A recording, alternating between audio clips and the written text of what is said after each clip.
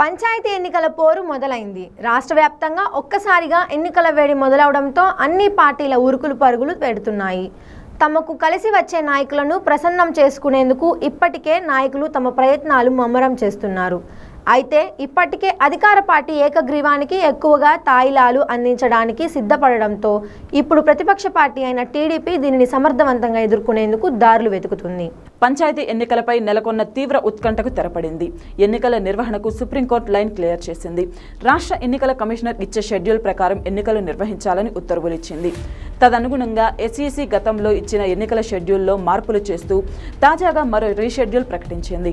కాగా జిల్లాలో మొత్తం పదివేల యాభై పంచాయతీల్లో వివిధ కారణాలతో పదిహేను పంచాయతీల్లో ఎన్నికలు ఆగిపోగా మిగిలిన పదివేల ముప్పై ఐదు గ్రామ పంచాయతీల సర్పంచులు ఆ పరిధిలోని పదివేల మూడు వందల ముప్పై ఆరు వార్డు సభ్యులు పదవులకు ఎన్నికలు జరగాల్సి ఉంది.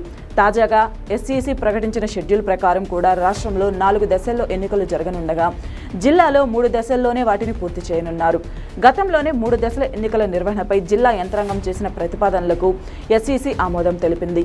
కాగా గత నెల షెడ్యూల్ రెండో విడత నుంచి ఎన్నికలు జరుగుతాయని ప్రకటించారు. అయితే రీషెడ్యూల్లో రెండో విడతనే మొదటి విడతగా మార్పు చేయడంతో తొలి విడతగా ఒంగోలు రెవెన్యూ డివిజన్లోని ఇరవై మండలాల్లోని మూడు వందల నలభై తొమ్మిది పంచాయతీల్లో ఎన్నికలు జరుగుతాయి. రెండో విడత మార్కాపురం డివిజన్లోని పన్నెండు మండలాలతో పాటు దర్శి నియోజకవర్గంలోని ఐదు మండలాలు కలిపి పదిహేడు మండలాల్లోని మూడు వందల ఎనిమిది పంచాయతీలు. మూడవ విడతలో కందుకూరు డివిజన్లోని పంతొమ్మిది మండలాల్లో గల మూడు వందల డెబ్బై ఎనిమిది గ్రామ పంచాయతీల్లో ఎన్నికలు జరగనున్నాయి.